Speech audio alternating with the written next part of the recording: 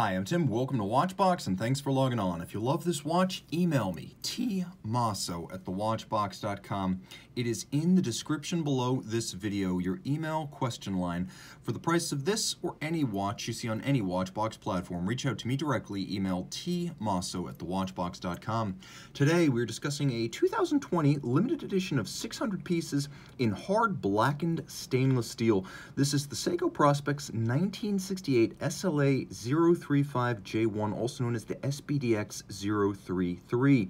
This is the black series of the SLA 35, a watch that is drawn from the imagery of 1968, but the materials, fit, finish, and capability of 2020 and now 2021.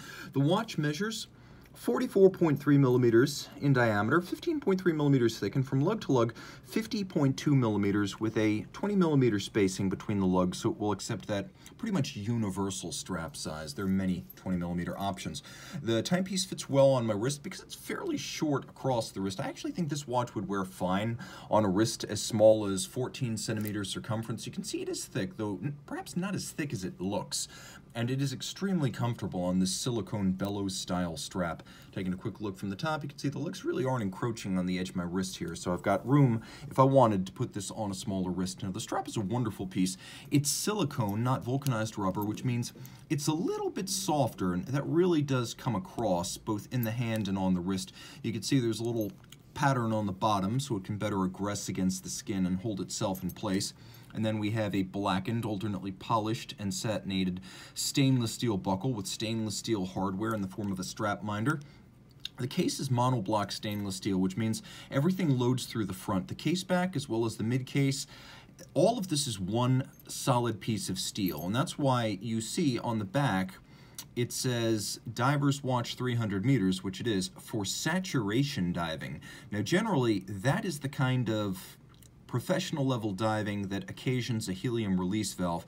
Well, the idea here, and this is Seiko's own claim, is that because helium gas cannot enter the case, there's no need to vent it, and therefore we don't have a helium escape valve, but the watch is still rated for saturation diving.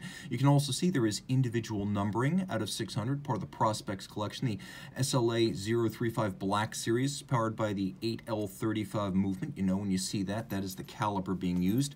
The case is actually Zaratsu black polished. Let me grab my polishing cloth here and show you because unfortunately my fingerprints have intruded.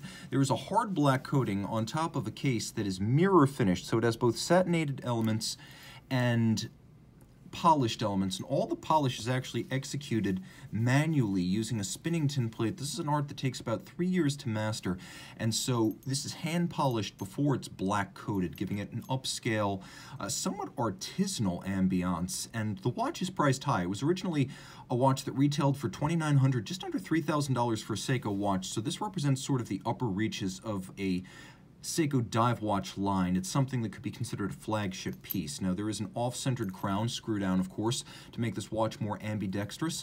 Let's hear the detent. It's very subtle, creamy, and yet well sprung and well detented.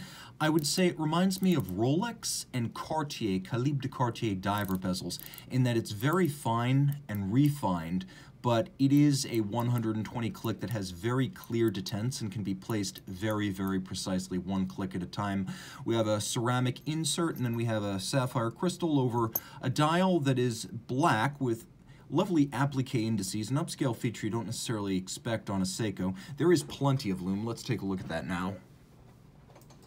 And as you can see, it is robustly lumed. All three hands and then the first 20 minutes of the rotating bezel.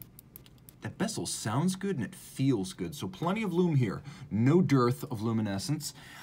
And we have uh, movement inside, automatic, manufacture, 50 hour power reserve, stop seconds with a quick set date, beats away at 8 beats per second, pivots on 26 jewels, and again it is suitable for saturation diving and diveable down to a rated 300 meters. And lest you think that that saturation dive claim is an idle boast, this watch is actually ISO compliant with the definition of a saturation dive watch. So there are broader principles being applied to that nomenclature. Reach out to T. Mosso at thewatchbox.com for purchase and pricing details.